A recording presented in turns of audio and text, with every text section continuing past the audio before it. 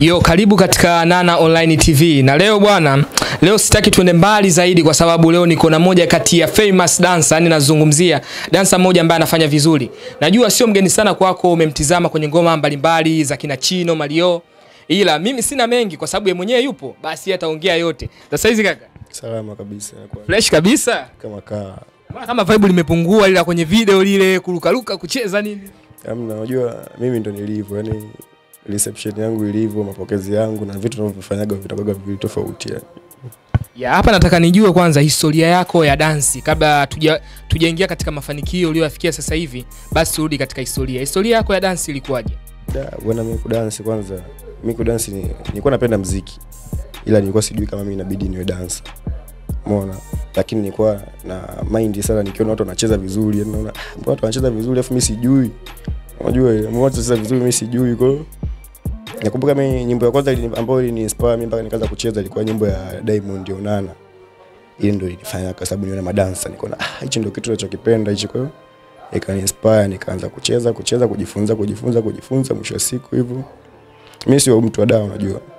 Nimetoka Mbeya kwa hiyo katika historia yangu ya kudansi mimi nime, nimesoma mpaka form 4. Nimesoma mpaka chuo mwaka wa kwanza lakini nimefika chuo mwaka wa kwanza sikuendelea na chuo kwa sababu mimi mwenyewe pia nilikuwa napenda sana kucheza, napenda sana muziki. Kwa hiyo hata home pia ilikuwa varangati sana, ni mpaka kuja daa, yani unajua. Mwenyewe nilipanga plani zangu, nikadanganya danganya wazazi mpaka nije kusoma daa, si unajua danganyadanganya danganya danganya sana wazazi, ile fanyafanya fanya vitrick nini, ameshahamisha chuo, nimefaulia huku na ameshia huku mwenyewe mtandaoni, mjanja, si unajua.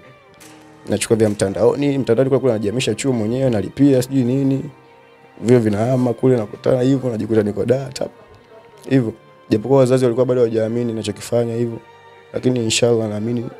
Sasa hivi ameweza kuamini kwa sababu ameweza kuona kweli, wameweza kuona ah, tini akachukua tuzo nini, ah, ah, mbona anaonekana nini, apigi simu sio, unajua zile yuko busy tu na maisha.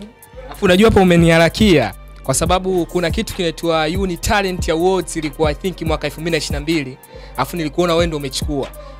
Kwa kuwa umeharakia mwenyewe basi tuingie katika historia ya tuzo. Hivi Uni, Uni Talent ilikuwaje hadi wewe kuibuka kuwa mshindi wa tuzo? Uh, mean, kwanza, kitu cha kwanza kabla ya kuchukua Uni talent, mimi nilikuwa na ndoto, kitu kinaitwa ndoto kinaitwa dream. Nilikuwa na ndoto kwamba nitaje kuchukua tuzo. Hata ukiangalia kwenye page yangu kule chini utaona mimi nimeposti post ya Chris Brown akiongea anachukua tuzo kabla sijachukua tuzo ni awali. Na nikaona hizi one day natamani nije kwa kama hivi. Unaona? Kwa hiyo na dream, hata wanangu niliwaambia kabla sijachukua, niwaambia wanangu mwaka huu lazima tutachukua tuzo. Na hata tuzo za Uniwadi zilikuwa sijai kuzisikia na wala sijai kusikia kama kuna tuzo yoyote.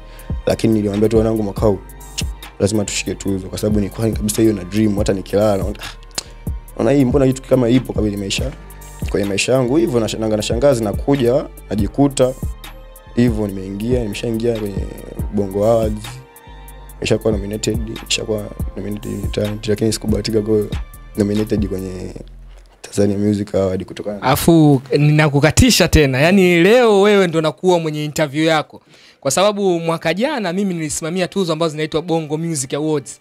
afu na mimi nilikuwa katika upande wa kunominate watu, kuchuja watu.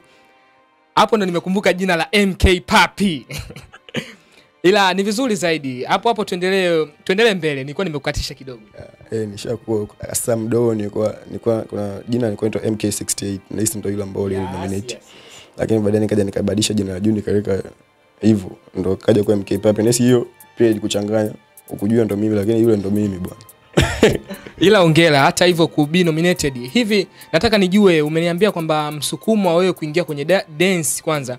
Kitu cha kwanza kabisa wewe ulipenda music ulitamani kufanya music ila ulikuwa ujui engo gani ya music ya kuingilia.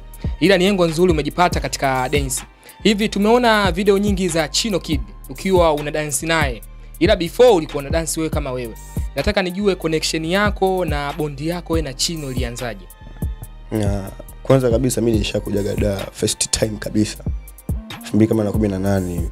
Nilivyokujaga da nikujaga na wanangu afu nikawa tumepigika tukarudigi afu tukaja tena peke yangu. Sasa katika kuja peke yangu ile safari ya pili na- nakumbuka siku nilikuwa tu nimekaa home kwa sababu nilivyokuwa nimekaa home nikasema kwa nini nimekaa tu home sina kwa kwenda sinajua sina marafiki ugenini. Kwa tu nitoke nikatembee. Niende hata uwanjani kwa sababu mimi pia nachezaga mpira afu napenda nini unajua? Kwani niende uwanjani? Unajua nikatoka kwenda uwanjani sasa uwanjani naona kuna watu kule wanashuti sasa kwa mbali nikaona ah, mbona watu wanafanya vile vitu vyangu kule? Nikasema wale mbona wanafanya vitu vyangu? Nikajisogeza. Sasa kujisogeza tunamwona chino sasa. Afu mimi chino sasa nilikuwa namuona kwenye tv namuona kwenye anyanyinyi afu ndo dansa ambaye nilikuwa nili yani ndo dansa ambaye